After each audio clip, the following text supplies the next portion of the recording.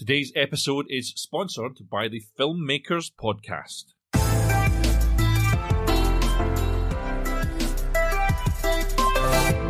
Hello and welcome to Film Pro Productivity, the podcast that helps film professionals and other creative people to live a more focused, effective, and happy life.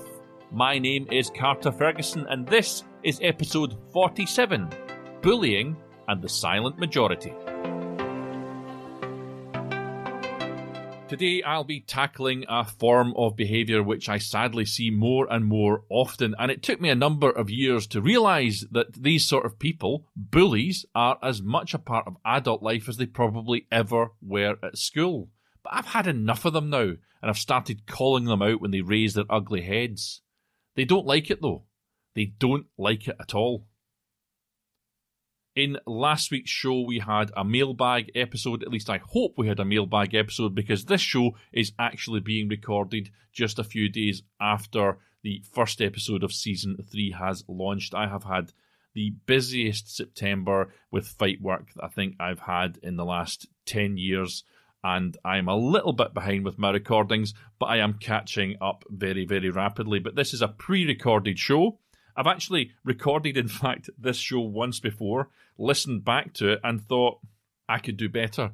So I've reworked what I'm trying to say here, and I think to do the subject justice, I had to expand on it a little bit more. So today's episode is actually going to be the longest episode which I've ever recorded.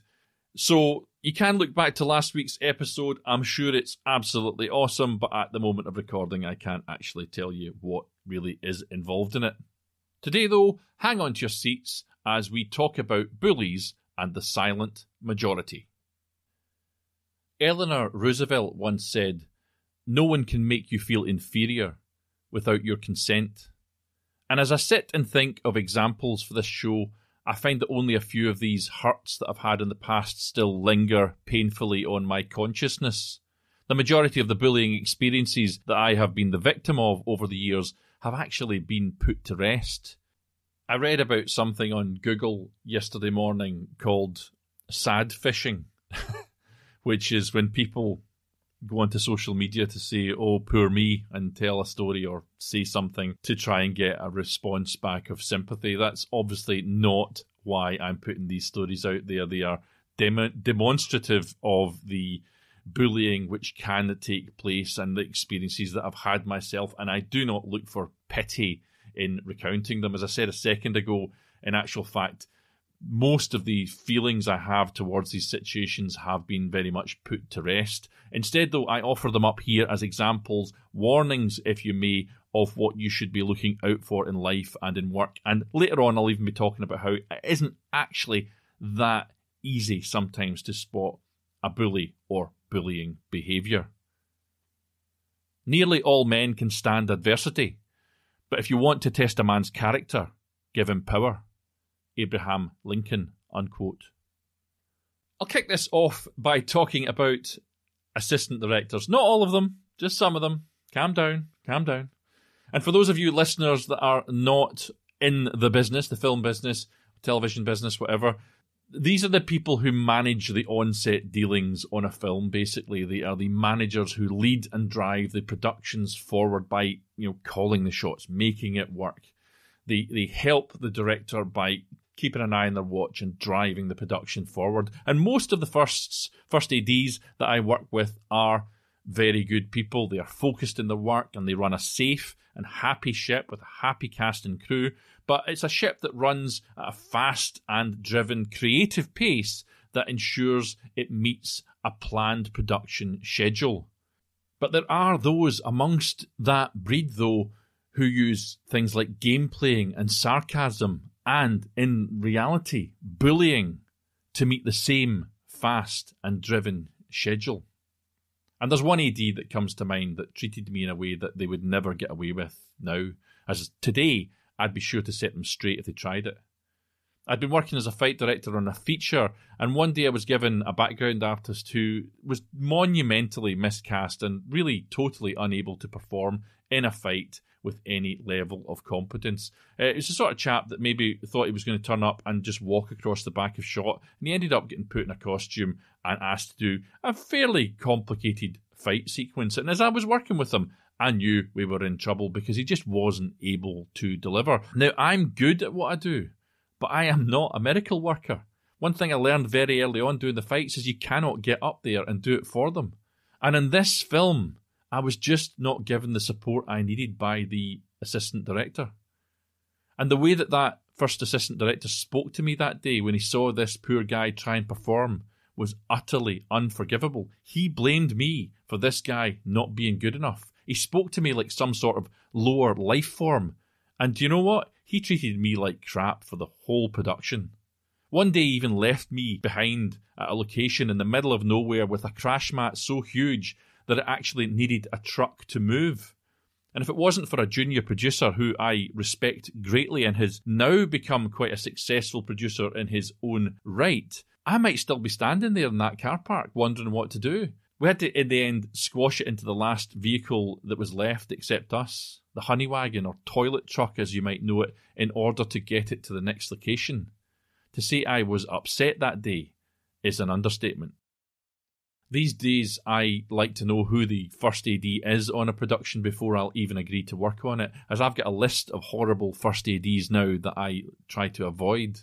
It's a very short list, but that guy is right at the top of it. Next today are the actors. Now, again, not all actors, I hasten to add. I've got a lot of friends who are actors. I was an actor myself. Not all actors, but there are needy actors that like to drop me in it for no other reason than they are seeking attention. And a typical example of this would be this situation uh, when those who, some way into the filming of a fight scene, which I've been working on and I've carefully worked out with them, and on which, after each and every take, I have checked to ensure that they are happy and safe and unhurt, and they in turn have given me the affirmative that all is well, to my surprise, suddenly announced that they are actually finding it very tough and are struggling on despite the pain when someone else in the production, for example, a first AD or a producer, asks them how they're getting on. I really, really hate it when this happens, and it happens all the time.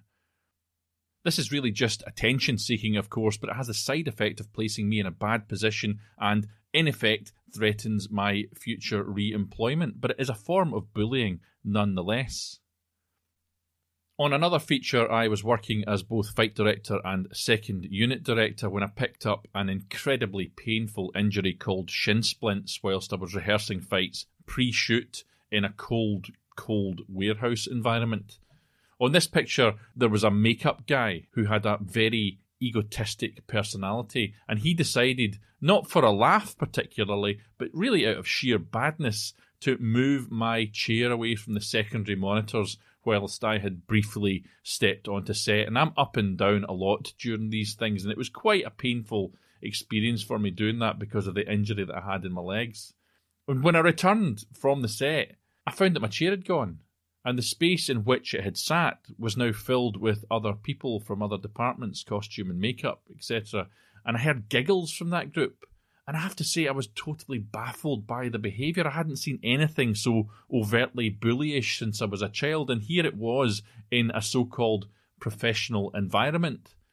And at the time, I let it go, as I wasn't exactly sure who had done it, but the incident was really quite upsetting and very unnerving to me, as I'm a genuinely hard worker with a pleasant professional demeanour, and I'd done nothing wrong. I was injured, and I found myself to be the butt of some evil joke with no great explanation. I was genuinely, I still am, taken aback by the disrespect which I was shown.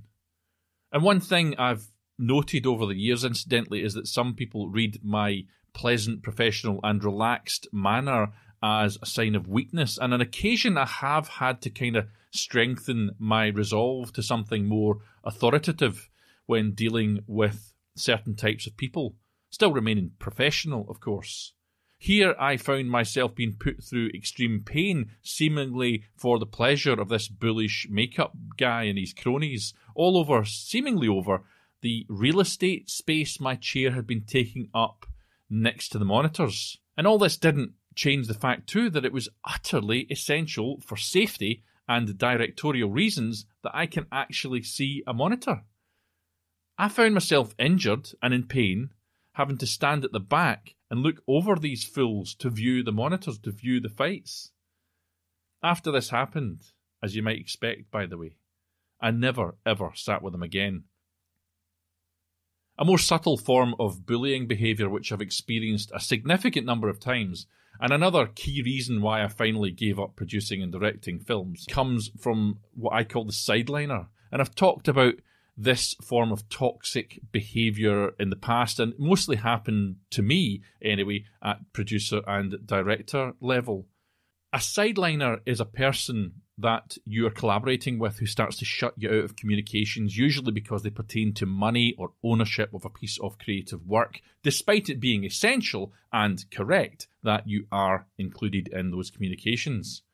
If this starts to happen to you, let me tell you one thing that I have learned from hard won experience.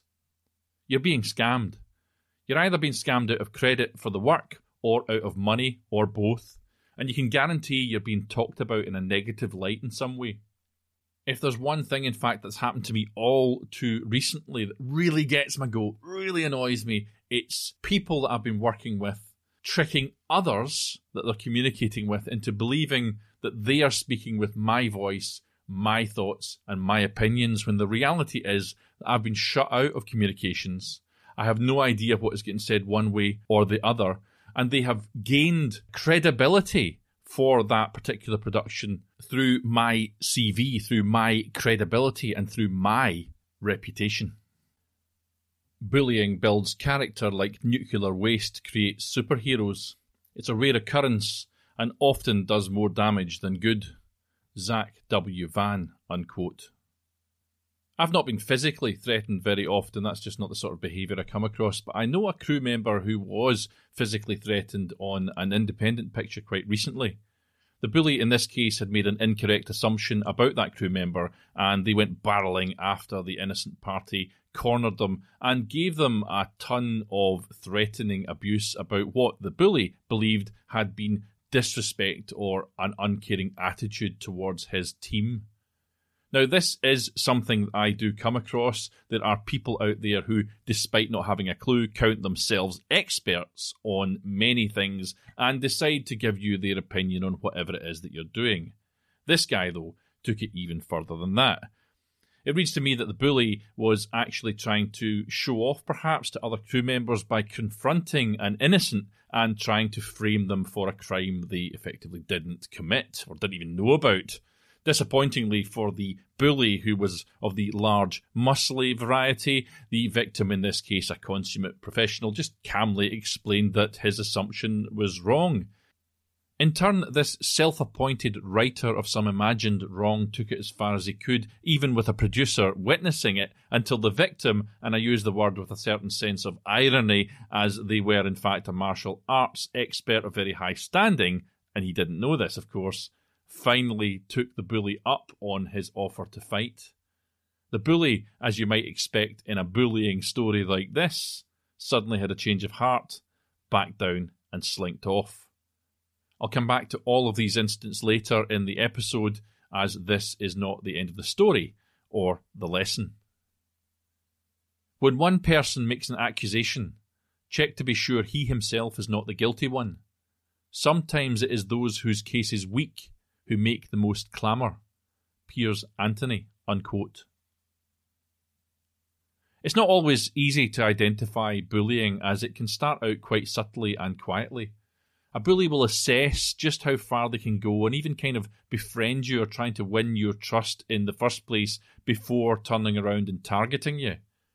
They may only turn on you, in fact, when they realise that their beliefs or passions or attitudes or religion or whatever are not the same as your own, and it may at first be disguised in chit chat or sarcasm and be quite difficult to spot. Elsewhere, what you might read as bullying might not be. When bad behaviour is pointed out to some people, they may actually be profusely sorry. Maybe they'd been having a bad day or they have trouble at home. And I can certainly recall times I've been shorter than I would have liked to have been with people because I was worried about something that was going on in my private life. So remember the old adage be kind, for everyone else is fighting battles that you likely do not know about. Some people, too, just have large or loud or brash personalities and may not intend their actions or words to be hurtful. I think what I'm saying here is that it's complicated. Seemingly bad behaviour is not always intentionally bullying, but unintentional bad behaviour can still affect others in a negative way. And I'm kind of pussyfooting around another bullying territory here where some people have refined their character of victim to such an art form that they themselves have become the bully and lie in wait, ready to be offended and victimized. I'll come back round to these kind of horrors in a bit as it's kind of interesting, and I'll be using the term snowflake to capture this particular type of bully, but I don't intend to offend you with its use unless you really want to be offended, of course, yourself. And I'm sure you know what it is, but a snowflake is regarded as a piece of derogatory slang, a term for a person implying that they have an inflated sense of uniqueness, an unwarranted sense of entitlement, or are overly emotional easily offended, and unable to deal with opposing opinions. I'll be using the term snowflake to identify a bully who is so easily offended and ready to complain or play the victim card as to be classified a bully themselves. Michael J. Fox said, One's dignity may be assaulted, vandalized, and cruelly mocked, but it can never be taken away unless it is surrendered. So, what more easily identifiable types of bullying are there? Well, it can include being yelled at, as you could probably imagine, which I've seen happen a good few times in professional life, but I've also seen the opposite. In fact, people being accused of shouting when they are not. I've seen people being needled, sidelined, or gaslighted by true bullies to the point where they are exasperated and kick off in frustration. Then, in turn, they get unfairly accused of bullying while the instigator smiles quietly to themselves. Eye rolling is a small annoyance, but I think one worth mentioning. Eye rolling drifts into the area of bullying when it is used to undermine someone either quietly behind their backs for the benefit of others or directly to put them off, inferring, here we go again, or some other rudeness. I was once in a meeting, an early meeting with a first AD for a feature film, and when it ended, I was told by my assistant that the third AD, who was also in the room, was eye rolling behind my back as I talked about avoiding a few particularly dangerous extras, uh, supporting artists that tend to get attracted to low budget action films that have guns and stuff in them. Yes, that's the sort of thing I, I talk about in meetings. It's important. That's all I'm saying. Anyway, I never pulled her up about it. But do you know what happened? On the very first day, the very first day of filming, that third AD that was rolling her eyes at what I was saying put one of the three extras I had asked her to avoid onto the set with me. I couldn't fucking believe it. And I don't think she did it deliberately to wind me up, by the way. I just think she didn't listen to a word that was said. She already knew it all. But as a, as a great example of why eye rolling is a problem, I'm recounting that story here because it was absolutely incredible. I'm not one to be afraid of a bit of research, and a quick Google search has thrown up a few more examples of workplace bullying for you. There's obviously verbal abuse, not necessarily shouting, things like telling people they're useless or unreliable or stupid, or being talked down to, like what happened to me in my first example. Ill treatment, such as ostracism or being sent to Coventry, as it's known, is another form of bullying. And I actually ha- had this happen to me fairly recently, and I'll talk about it a little bit later on. Being constantly criticised, having duties and responsibilities taken away without good reason, that's another form of bullying, and that's a, another one I can tick off. I've experienced that. Shouting, aggressive behaviour, or threats on occasion. Yes, that's happened to me. Being put down or made to feel the butt of jokes. Yes, tick that one too. Being persistently picked on in front of others or in, in private. Yeah, well, I've, I do not get that so much these days. I have in the past. These days, I've developed like an, an air of supreme indifference to this sort of thing. So they don't usually bother me too much. If they try it, they get bored and move away. Being constantly ignored, victimized, or excluded. Yes, that's very annoying. Big tick on that one. Constantly mocking and attacking. Yes. Spreading malicious rumours. Yes, yes. Misuse of power or position to make someone feel uncomfortable or victimized. Yep, very prevalent in my experience. Making threats about job security. Absolutely. Blocking promotion or progress within the workplace. I'm, I'm, sure it happens. Progress within the industry is near impossible at the best of times, though. So I can't think of an example off the bat, but I'm absolutely certain it happens. And cyberbullying should probably be mentioned. It's a whole other thing, but it can't really be ignored. I went through a couple of years where my website and my email were attacked again and again, possibly, probably by bots now that I think back that had found a weakness in my website's structure or my email address, which at that point was easily found online, or maybe it was just a troll with nothing better to do. And for the record, I solved this problem by moving my site away from the WordPress structure, and it's actually hosted on Wix at the moment, which has got its own limitations, but didn't doesn't seem to have the same number of attacks as, as the site had on on the WordPress format, and also by changing my email host from I don't know who it was I was paying to host my standard email address, which for the record is carter at fightdirector.com, but I, I actually get that hosted now through Gmail. Uh, so it's actually technically a Gmail address, and what's brilliant with that is you pay something like two pound a month, might be a little bit less than that, in fact, and it stops literally all spam. I don't get any spam. I don't get any phishing seemingly. It gets 99.9% of the stuff coming through. But all that said, the move to make my online stuff secure was a bit of a drag nonetheless.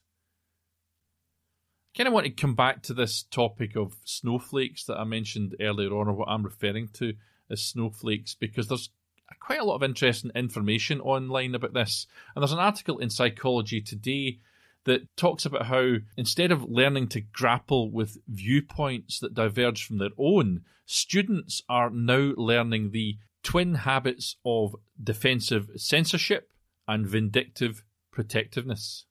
I'll say that again defensive self censorship and vindictive protectiveness. In other words, they pretty quickly grasp which views are permitted and which are not, and they learn to conform. When they disagree with accepted opinions, they know to keep quiet because others who hold accepted views will thoroughly lambast anyone who dares speak up. This is an incredible snapshot, I think, of modern society, not just of students. I've certainly seen this sort of behaviour many times in the film industry. I'm trying to keep this show adult, but the article is a fascinating read. It says that in school, good children, good in inverted commas, learn that they can get away with mean spirited behaviour like name calling and social exclusion as long as there is unspoken peer agreement regarding which children are acceptable targets. And those targets, by the way, are typically the unconventional, non-conformist, different kids and sadly, for those creatives listening to this show, that probably means us, by the way. And these unspoken peer agreements, of course, in school or in adult professional life, make it more difficult and certainly more high risk for us to call out bullies. Judge Judy made a kind of interesting point that's sort of on theme here. She says, in too many ways, political correctness has been a bully. I'll leave you thinking about that one. It's not right for this episode for me to expand upon it. I've got to move on. But it's an interesting thought. In too many ways, political correctness has been a bully. Bullying can build to the point where you dread going to work and where your home life is affected. I can't explain to you the misery that I was put through on a regional theatre show that I was cast in when I was an actor and just starting out. Another actor in the production used to needle me and give me notes at every opportunity. That's something actors don't shouldn't do to each other because it unnerves them. And they got me so worked up about a certain scene that I was in that required our joint timing in it that I dreaded not only that scene, but going into the theatre at all. I was stuck there though, as there isn't an option for an actor to drop out of something like this without causing a whole lot of trouble. So I suffered it, and it was a miserable, miserable time for me. Years later, incidentally, that actor that troubled me, that bullied me, he came and apologised to me, which was a very interesting and welcome turn of events, and I respect him greatly for that. Another form of bullying that I've experienced, although it may be regarded as just bad behaviour by most, is that of being used as a prop for someone else's ego. I was once hired to work on a show which had a lot of background reenactor fighting extras in it, but I wasn't hired as the fight director. I was hired as the safety advisor instead because these guys tend to do their own thing, and I was really happy to fulfill that role. The, the reenactors were brilliant fun to work with, and they were excellent at what they did. Now, at the risk of sounding like this, though, is a promo for my own fight work, I have to say that I am really, really good at what I do. I'm extremely experienced, stupidly good with a sword, and beyond that, I'm really, really fast, fast at working. I was only on this show for a day, and on a few rare occasions, I did find that to keep things safe, I had to intercede very politely and quickly but the director, who, as it turns out, really didn't want me there in the first place, it became very, very clear he pulled me aside early on and told me that he didn't have time for my intervention. The thing is, though, he only pulled me aside about five or six feet away from the others, the other 20 people standing there. So this ensured that everyone, cast and crew, heard him, in effect, telling me off. And as he rushed back to do his far more important work than than mine, I had to announce quite loudly, in fact, that whether he had time for me or not, I was going to go right ahead, ensuring that we do it all in a safe way anyway. Now, he didn't say two words to me for the rest of the day, but nobody got hurt, and the number of background artists that came up to me and thanked me at the end of that day for my help in keeping them safe was very, very significant. In fact, I'd go as far as to say that I don't think on any other fight in 24 years I've had so many people come up and thank me on any other production. The reenactors were clearly very happy that I was there to keep them safe. About halfway through the day, the producer came on set and I spoke to him about the incident as I was a wee bit unnerved. He simply said to me that I wasn't there to be liked, and I couldn't really disagree with him, so I went along with it. I'm just not in the habit of making enemies, and I was left that day slightly dissatisfied because I hadn't been able to win over the director. But as I think back, I don't think I ever could have won him over. I think I'd been forced upon him. He'd done things like this in the past without me, and he thought I was somehow there to restrict him. He didn't see me as an asset, he saw me as a problem, and I don't think there was ever going to be a way past it. It's a shame because I really love doing these kind of docudramas, and that was a for me an enjoyable day despite the problems. So, how do we begin to combat this? What do you do if you're being bullied? Most of the advice that I've found online says that in the first instance you should seek to solve your problem informally. If you feel safe and comfortable speaking to them, that is. Informing them that you will be taking a more official route if they don't change their behaviour might just be enough to stop their attack. And Michael Caine talks about this, or he kind of talks about it in reverse. And I've been looking for the exact quote, but I haven't discovered it yet, and I've got to record this episode. He was talking about working with a director who he'd heard was known for shouting at his actors. And before he started the film, he said to the director, I hear that you like to shout at people. I don't like being shouted at. And he says, You know, that director, he never shouted at me once in that film. And maybe that director was a bully and maybe he wasn't, but Michael Caine short circuited any opportunity for bullying before it even started. For many, the informal way isn't an option though. So if this is the case for you, you should make management, if you have management, aware of what's happening. And if you still are not satisfied that the harassment has stopped, if it is not taken seriously by your line manager, or if the problem gets worse, you should seek to make an official complaint, or if you have one, take it to your union. Amy Cooper Hakim of Psychology Today says be confident and use simple, unemotional language. She says bullies lose their power if you don't cower. Deep down, they doubt they deserve your respect. they admire you for speaking with self assurance and confidence. So when they bombard, don't counterpunch. Rather, win them over with your strong, firm, courteous demeanour. And she says, let them know that this potential victim does not intend to be victimised. It does not seek forgiveness, but does not pose a challenge either. I tried this approach once when a bullying behaviour came towards me kind of out of nowhere. And it's kind of funny. it's kind of funny because the bully became so enraged by my calm response and presentation of the facts that it makes me laugh even now. You see, I'd caught them with their hand in the proverbial cookie jar, and their rage back at me was, in effect, staged to hide their embarrassment and humiliation at being caught out. Kind of interesting. Signe Whitson says stay connected. Bullies operate by making their victims feel alone and powerless and isolated. So you should keep people informed of your situation. It will also, incidentally, alleviate your stress about the matter when you share your problem and gain an ally. Psychology Today also recommends that we set limits, and that is exactly what Michael Caine did in that earlier example. Chrissy Scivicque writes The trick is to remain polite and professional whilst still setting your limits firmly. Don't let the bully get under your skin. That's what he wants. Practice your response so you're prepared the next time something happens and you can respond swiftly without getting emotional. Keep it simple and straightforward with something like, I won't be talked to in this way.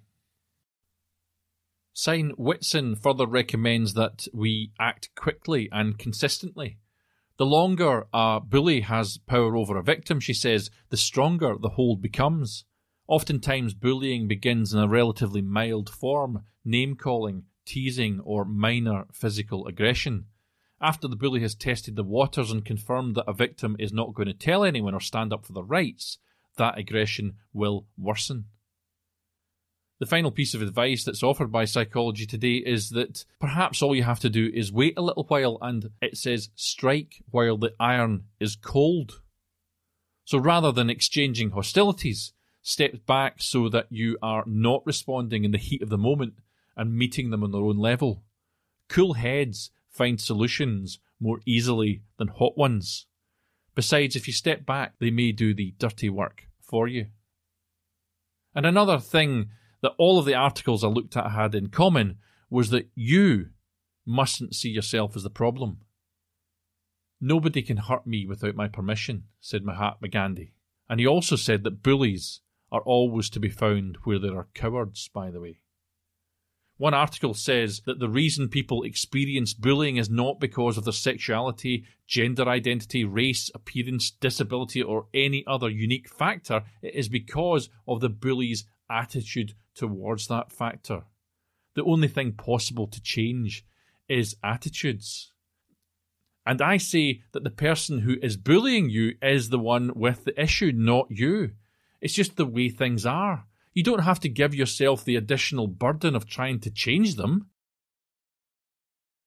Let's look back now over the situations that I have previously outlined, and by using Napoleon Hill's method of accurate thought, let's try and figure out why they occurred and how we can protect ourselves and others from it in future. The first AD who talked down to me is a fairly regularly employed uh, guy for one very clear reason. He brings productions in on time, and that, in the end, seems to be all that really matters to many production companies. And the production company who put the film together, to be fair, may never have even heard about my mistreatment or the mistreatment of others. And why not? Because I let it go.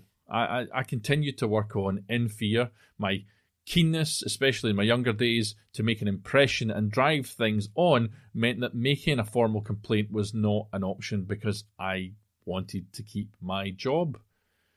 I'm 100% certain, in fact, that at the time, if I had reported a grievance, that it would have been me that got dropped from the production and not the bully who was running the show.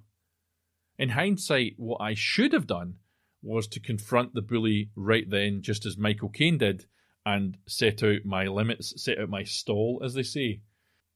I should have explained that talking to me in the way that he did, dismissing my experience and my qualifications, and placing me in situations in which I had absolutely no support, was not and never would be acceptable. If I had done that, perhaps that would have worked, perhaps not. What I can certainly say is that if I had done that, I would feel better about the experience now looking back. But let's look at another situation the actors that like to drop me in it. Actors often don't get taken to task over bullying behaviour as the aim of everyone on any given production is to keep things moving and shoot what's on the call sheet, or if it's a longer shoot and they are a main character playing a main character, they may kind of get away with it, very likely with a talking to along the way from a producer until they leave the production. The last thing that we want to do on a busy shoot day is upset an actor that has important scenes coming up, and 99 times out of 100, replacing them is just not an option. Much of the time, therefore, a bullish actor is allowed to behave badly for a time at least for the sake of peace of everyone else, the saving of budget, and for the sake of the show. Over time, though, what I've discovered is that an actor that does this will be playing other games with other people and their reputation will surely dive. This sort of trouble bothers me less than it used to, as I mostly work with really very awesome and very professional people these days. And although actors, the actors of which I speak, might not know it, and you should know this now if you are one, causing upset and trouble or playing games or bullying other actors or crew inevitably leads you to one thing, and that is being dropped sooner or later from the productions that you're working on or finding that unemployment occurs more often than it used to. What goes around comes around, remember. A situation happened to me once with an actor who thought he'd give his opinion very loudly about a fight scene that I'd directed as it was quite early on in my career, it, it did bother me, and I spoke to my line manager about it, who happened to be the producer, and he said this to me. He said, Ignore him, he's a wee dick. And in one stroke, this both calmed and reassured me. Because unbeknownst to me, everyone already knew how difficult that actor could be. The act of complaining about me was like water off a duck's back to the producer, as this guy had cried wolf so many times before. He was known for his power plays, especially with bit part actors or crew who were on on dailies, and my reputation, in fact, remained untarnished. Martin Luther King once said, In the end, we will remember not the words of our enemies, but the silence of our friends. And this quote, this particular quote, represents my greatest revelation about bullying in recent years. I can attest that now I remember the inaction of my friends and colleagues with far greater clarity than the actions of the bullies themselves. It possibly doesn't sound it, but the bully that moved my chair, that incident was one of the more troubling ones that I recounted. This guy was an ass of the highest order. But I've noted one thing over the years that if people have talent or some other redeeming feature in the eyes of the producers, they are often left to behave in the worst ways. Personally, if I'd been in the group when someone did this with my chair for sheer badness, I would have spoken up, but not one of these other people did. And why didn't they? Well, I'd put my money on peer pressure.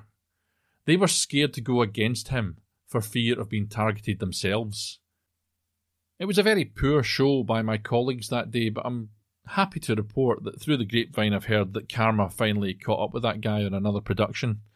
I think he moved to someone else's chair who wasn't so forgiving as I was. Finally, I want to revisit the situation that happened to that crew member who was physically threatened. Unfortunately, they decided to walk away from that production as the immediate stance that the producers took was not to fire the bully, but to let it pass, try and gloss over it. I think that there was some noise created by those in his department, which sounds something along the line of if he goes, I go, effectively putting the producers in a tight situation. From what I can gather, though, by the very act of walking off of the production, this brought about a number of fresh bullying complaints by other crew members about the same guy. I get that the producers found themselves in a tricky situation, and I have wondered how I would have handled it myself. But as this is a retrospective, I'll say that I understand what they did, but I disagree with how they handled it. For me, having a producer who witnessed the physical, threatening behaviour of one crew member to another, there was only one way to deal with it, and that was to fire the bully. They didn't, and this has had repercussions, believe it or not, beyond that production. I'm also sure that their inaction would have unnerved and caused upset right across their own production as word went round that this sort of bullying behaviour had been let to pass. If they had stood their ground and not allowed themselves to be blackmailed by that department, the film would have continued with a slight hiatus with different people in the roles, and I believe a happier and healthier, and I'd argue a better production to show for it. They broke the golden rule of success when they let behaviour like this pass. The ultimate measure of a man is not where he stands in moments of comfort and convenience, but where he stands at times of challenge and controversy. Martin Luther King Jr. Unquote. If you're a producer, I think it'd be time well spent if you ensured that you have an anti bullying policy developed for your productions, or that you build it into your contracts from now on. Now, I've got to wrap this up, but before I do, I must go back to the situation where I found myself being sidelined and which led to a very aggressive bullying attempt by someone that, to be honest, I had always known was difficult. This was a situation where I really expected others to step up and help me, but I can only conclude that they didn't want to put their head above the proverbial parapet for fear of being targeted themselves. And by doing so, they chose to stand by and let me be abused. While a known bully is targeting one person, you see, it means that they are not targeting someone else, and the others in the group feel safe. It's a very sad and disappointing observation but I believe that this was what was in play. In the long run, of course, the bully will turn on them, and finally they too will realise that the time has come to stand their ground or depart. Desmond Tutu said, If you are neutral in situations of injustice, you have chosen the side of the oppressor. If an elephant has its foot on the tail of a mouse, and you say that you are neutral, the mouse will not appreciate your neutrality. I was the mouse in the situations I listed before, and would have appreciated the help of a bystander if it had been offered. And if I was ever a neutral in the past, I am determined not to stand by and let a bully get away with this sort of thing anymore. The bully has a Jekyll and Hyde nature. It's vile, vicious, and vindictive in private, but innocent and charming in front of witnesses. No one can or wants to believe this individual has a vindictive nature. Only the current target of the serial bully's aggression sees both sides. Whilst the Jekyll side is described as charming and convincing enough to deceive personnel, management, and a tribunal, the Hyde side is frequently described as evil. Hyde is the real person, though. Jekyll is an act. Tim Field, unquote. Now, I did warn you at the start that this was a big episode, and I only have a little bit further to go. I think it would be doing you a disservice if I didn't take this just one beat further. So hang on for another few minutes and listen up because there are complicating factors in talking about bullies that I must mention. Issues raised when confronting bullies can be followed by counter allegations of ill treatment and unfairness, and allegations of bullying will often follow on from disciplinary or grievance procedures. So when you call out a bully, they may well instigate some form of tit for tat response, and you need to be prepared for this. To protect yourself, you should document any incident of harassment in detail and include the date, times, place, who was involved, what happened, and the names of any witnesses. And I use the call recorder app on my phone to help me out in difficult situations like this that may come up on the telephone, for example. If you haven't heard the episode yet, then look back to episode 27 5 more free apps to make you more productive to find out more about that particular app. Bullies melt like the wicked witch of the north, you see, when faced with facts and figures. And if you have them, you will always come out on top. My pain may be the reason for someone's laugh, but my laugh must never be the reason for someone's pain. Charlie Chaplin. Unquote. Your call to action today is simple.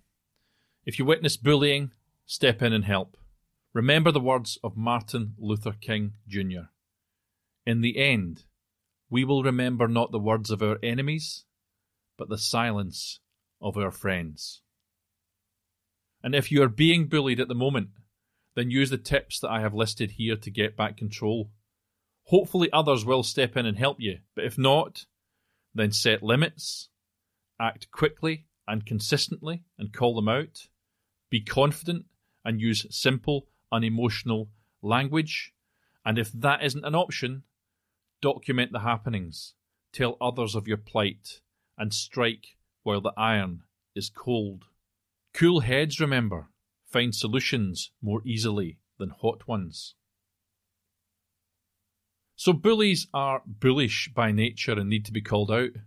This doesn't mean that they will stop their inherent bullying tendencies, but they will know that if they try it, that they're not going to get away with it. This has been a hell of a long episode, but I couldn't let another series pass without going into this topic, and once I started, I knew I couldn't do it by halves. I want to thank everyone that's spoken to me about their experiences lately and all of the awesome production people too that have supported me over the years. I've worked and continue to work with some truly amazing producers, production personnel, and production companies, and first ADs, etc., who really care about how things are done and how people are treated. And not just because they're ticking a box in insurance either. I'm lucky to have been working for many years too with the BBC, who are all over any form of bullying, and I'm eternally grateful too for the help I have found there over the years. And I'm also thankful to British Actors Equity, to Bectu and BAPAM for being there whenever I need them, and I have needed them. I'd also like to thank Giles Alderson of the Filmmakers Podcast for sponsoring this episode. His show is absolutely fantastic, so get over there and get subscribing. I attached the Filmmakers Podcast to this particular episode because this is an important topic and I felt that the association would be a good one. I've got links to many of the references that I made in the show notes, and you can find them on the official site in full. I've got a feeling, well, I've not got a feeling, I know that these show notes in entirety will not transfer onto the apps that you're using. Maybe one or two of them might include it, but generally speaking, they'll probably get cut short because I'm sure there's a character limit. And what I try to do is more or less do a transcript of the full episodes in the show notes. If you want to be sure to get the full transcript, you need to go to the official website, filmproproductivity.com, click on the episode, and you will get the full transcript of the show. I'll end today with the words of Abraham Lincoln. I would rather be a little nobody than to be an evil somebody. Now take control of your own destiny. Stand up to bullies. Keep on shooting. And join me next time on Film Pro Productivity.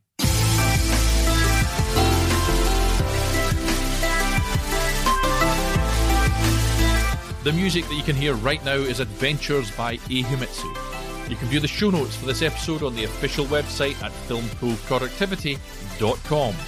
You can follow my personal account on Twitter and Instagram at fight underscore director, or follow the show's official Twitter account at filmproprodpod or official Facebook account at filmproproductivity. Please support this show by subscribing, spreading the word, and leaving an awesome review.